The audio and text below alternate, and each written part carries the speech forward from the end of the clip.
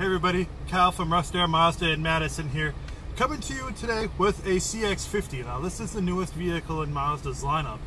Um, you see they put a lot of work into the new interior, the stitching, the coloration. This is brand new. This is called Terracotta.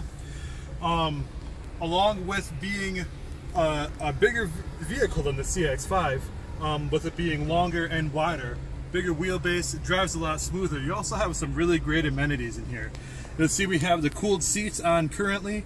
Next to that is the heated seats, heated steering wheel, um, wireless chargers, Apple CarPlay, Android Auto. It's got everything.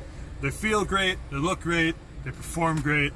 Come see one, we'll get you set up soon. We'll hope to see you then.